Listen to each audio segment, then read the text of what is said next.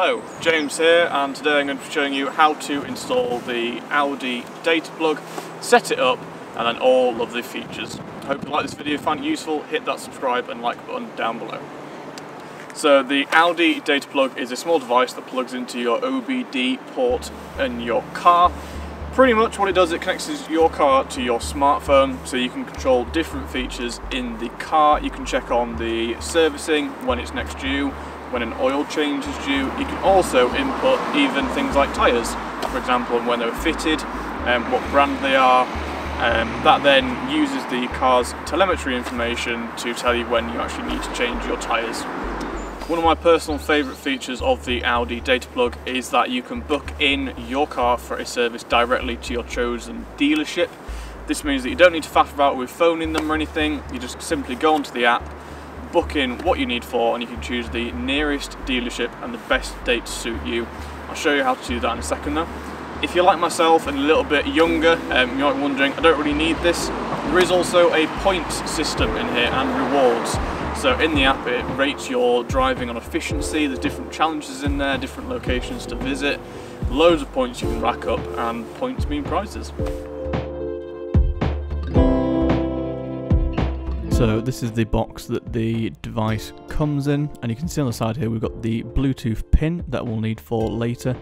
That can also be found on the side of the device. Just a small bit of sellotape tab and open up box and here we have the plug. As you can see it's quite a um, quite a small device but it does uh, pack quite a punch with the features that it can do.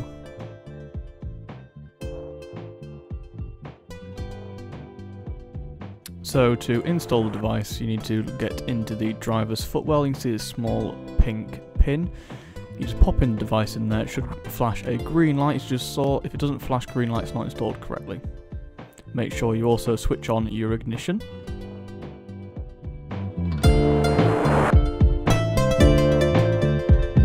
So setup is as easy as installation. Just head over to your App Store or Google Play Store and search for Audi Plug and Play or Data Plug and it's the first apps on there and just hit download. Once the app is downloaded, open it up and allow the location services and Bluetooth and hit let's go. Next part is to select your country and then agree and agree again and click yes you've got a data plug. Now this is the pin that you need from earlier. You just type in that pin. Again make sure your ignition is switched on and click next. Establish connection and click pair Now this part may take up to two minutes, so we're going to skip ahead. And there we go, connection successful. You can select next. This is where you choose your local garage. So I'm going to go for York Audi for myself and add as favourite. And now click login. So if you haven't already got a My Audi account, it'll ask you to create one. If you do, send your email address and password. And there we go, successfully logged in. This is transferring my data from my other plug. And there we go click allow to send notifications, click OK, and OK again, and there we go, that is successfully set up.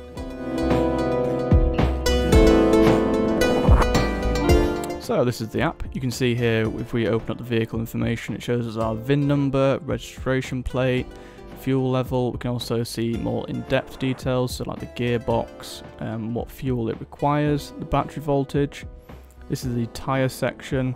You can see I've done 18 miles since I actually started using this data plug.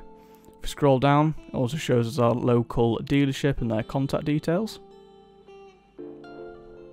This is our last trip, it shows us how far we've done, our average miles per gallon and our fuel costs. And this is a last 30 day statistics, so you can see how many miles we've done, how much times we refueled, etc and that is our last parking space. Quite useful if you um, if you're used to losing your car or potentially if it gets stolen. Now we can select more options see on the home screen like the last trip, active fuel costs, etc. If we now scroll down you'll see last refueling and active challenges. In the active challenges this is where it shows us the distance, challenges, skills, so efficiency, driving cities, etc. Discovery, different um, different locations you can visit, times of driving, loads of different challenges you can do. On the second page, you've got loads of different information. So this is where you can add a service appointment. So you can choose the reason that you want to add a service, add your own little notes, and then time and date, and also location of the dealership. Obviously, I'm not actually going to book in a service right now.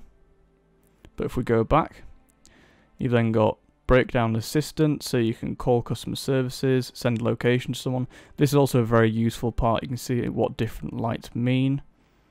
You can also ping a message to your dealership to tell them that lights come on. It also gives you some quick tips of how to fix those lights and what you should do. Clicking on the little pin at the bottom shows us your local your local dealership as well. If we click on the trophy in the top right, that shows us our points so far different trophies that we might have achieved from the different driving efficiency challenges. And that is it for the features for my car. There may be a lot more features for your car. So that is it for this video. I hope you found it useful. Um, definitely check out the Audi data plug and all the different features you can do. I was actually surprised um, when this actually comes with all Audi vehicles. So it's, uh, it's a brilliant feature, not many cars do this. On some of the new models as well, you can also control the car, so you can turn on heating, you can unlock the car. Definitely check out all the features your car has available. If you did like this video, hit that subscribe and like button down below, and I'll see you in the next video.